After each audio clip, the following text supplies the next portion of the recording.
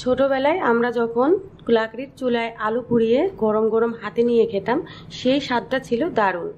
তো আপনারা কি কেউ জানেন এই পোড়া আলু দিয়ে কত অসাধারণ স্বাদের ভর্তা তৈরি করা যায়? আজকে আমি আপনাদেরকে পোড়া আলু দিয়ে তৈরি ভিন্ন দুটি স্বাদের ভর্তা প্রেজেন্ট করব। চলুন শুরু করি। বড় সাইজের আলু লাগছে দুটি।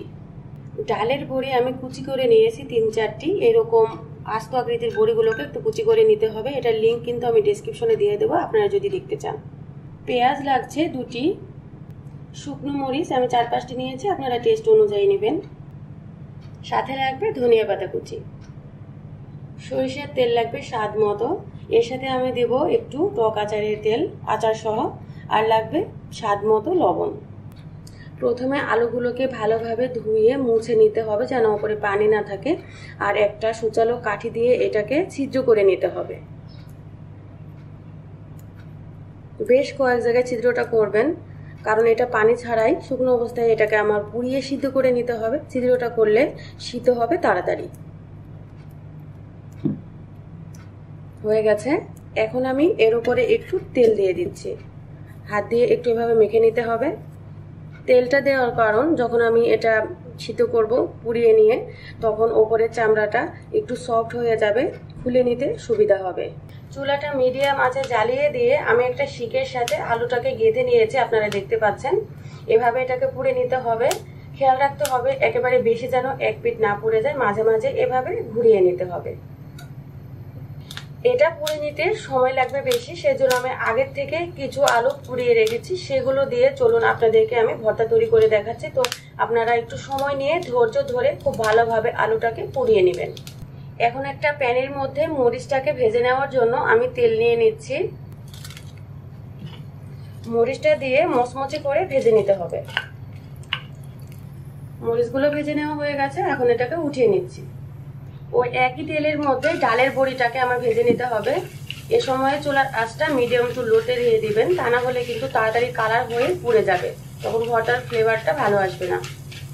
দুই থেকে তিন মিনিট এভাবে ভেজে নিতে হবে। ভাজা হয়ে গেছে, বড়িগুলোকে তুলে নিব আর এটাকে একটু ঠান্ডা করে পাতায় মিহি করে বেটে নেব। ভর্তা তৈরি করার জন্য একটা বোলের মধ্যে আমি ভাজা শুকনা মরিচটা নিয়ে নিচ্ছি। একটু লবণ দিয়ে এটাকে ভালোভাবে কষলে নিতে হবে। এখন দিয়ে দিচ্ছি পেঁয়াজ কুচি। পেঁয়াজটা কুচলে নেওয়ার পরে এর মধ্যে ধনিয়া পাতা কুচি দিয়েও আগের মতো কুচলিয়ে নিচ্ছি। এখন দিয়ে দিতে হবে পুড়িয়ে রাখা আলু। আমি পুড়িয়ে খোসা ছাড়িয়ে নিয়েছি। পোড়ানো আলুর এরকম একটু লাল লাল ভাব থাকে আর যখন আপনারা খোসাটা ছাড়াবেন অবশ্যই পাশে একটু পানি রেখে দিবেন। তাহলে হাতটা একটু ডুবিয়ে আপনাদের এই খোসাটা ছাড়াতে সুবিধা হবে।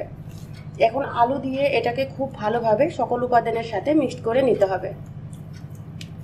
এখন দিয়ে দিতে হবে ভেজে বেটে রাখা ডালের গুঁড়ি ডালের বড়িটা আপনারা আমার লিঙ্কে দেখে নিতে পারবেন, আমি দিয়ে দেবো ডিসক্রিপশনে আর যদি আপনারা তৈরি করতে এখন না পারেন, তো বাজার থেকে সংগ্রহ করেও করতে পারবেন। প্লিজ একবার হলেও ট্রাই করে দেখবেন, এর স্বাদটা কতটা ডিফারেন্ট এর মধ্যে তেল দিতে হবে। আমি প্রথমে দিয়ে দিচ্ছি সরিষার তেল, অল্প পরিমাণ আর দিয়ে দেব টক আচারের তেল এক চা চামচ পরিমাণ। আচার সহই আমি দিয়েছি। খুব সুন্দর একটা ফ্লেভার আসবে টক আচারের। আমার চ্যানেলে টক আচারের অনেক রেসিপি আছে, আপনারা যদি প্রয়োজন মনে করেন দেখে নিতে পারবেন। তৈরি হয়ে গেল পোড়া আলু এবং ডালের বড়ির মিক্সড ভর্তা। এবারে নিয়ে নিচ্ছি দুটো শুকনো মরিচ আর একটু লবণ দিয়ে কুচলে নিচ্ছি। এবারে পেঁয়াজ কুচি দিতে হবে। ধনিয়া পাতা দিয়ে ভালোভাবে তিনটা উপাদানে কষলে নিতে হবে। এবারে দিয়ে দিচ্ছি পুড়িয়ে রাখা আলু। সকল উপাদানের সাথে একসাথে মিক্স করে আমি স্বাদ মতো তেলটা অ্যাড করে দেব। এবারে সরিষার তেলটা মিক্স করে দিচ্ছি। এটাতে আমি আচারের তেল অ্যাড করিনি।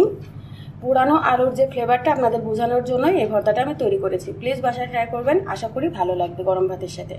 লাকড়ির চুলার মতো সেই স্মোকি ফ্লেভারটা খুব কড়া না হলেও গ্যাসের চুলায়ও কিন্তু পোড়া ভাবটা আসে, সেই গন্ধটা পাওয়া যায়। আমি সেই চেষ্টাটাই করেছি।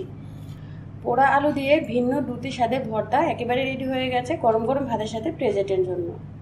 আপনারা অবশ্যই বাসায় এটা ট্রাই করবেন এবং প্রিয়জনের কাছে এটা শেয়ার করে দিবেন তারাও যেন ভিন্ন স্বাদের এই ভর্তাটা তৈরি করতে পারে। আজকে বিদায় নিচ্ছি। I love this.